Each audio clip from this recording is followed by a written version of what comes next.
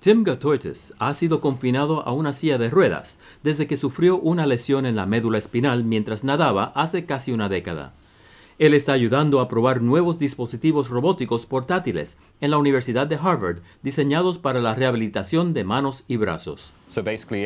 Básicamente cada semana aproximadamente estamos probando un nuevo tipo de guante, un nuevo tipo de sensor, un nuevo tipo de esquema de control y utilizando este tipo de retroalimentación de nuestros participantes en nuestro estudio para comprender si nos estamos moviendo en la dirección correcta o no. Con el apoyo de la National Science Foundation, el diseñador robótico Connor Walsh y un equipo están fabricando dispositivos portátiles que contienen poleas y engranajes, todos conectados a un microprocesador. Cuando un paciente paralizado o una víctima de un derrame cerebral intenta mover su brazo, los microprocesadores lo detectan y el guante o la manga suave actúan como músculos y agregan fuerza a los pacientes que intentan mover su brazo o mano. El desafío es hacer que los robots sean cómodos de usar y una segunda naturaleza para usar. Los robots blandos parecen un traje de neopreno, pero tienen pequeños globos entre las capas interna y externa de la tela. Un posible avance para que las personas con discapacidades